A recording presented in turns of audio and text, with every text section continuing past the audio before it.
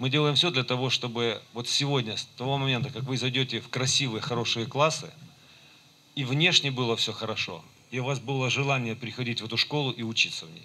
Для этого мы создавали эти условия. Учитесь, радуйте своих родителей. Старшеклассникам и всем другим детям хочу пожелать, знаете, чего-то мне так хочется вам пожелать. Любите Одессу. Вы наше будущее.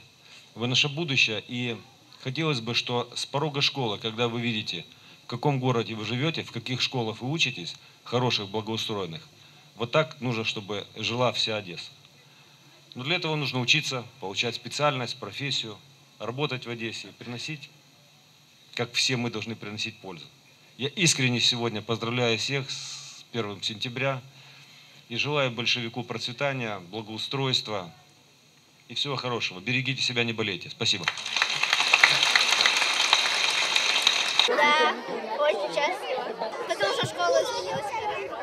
Изменилась, э, стали, сделали новый ремонт, а был старый. И сделали заброшенное помещение, убрали.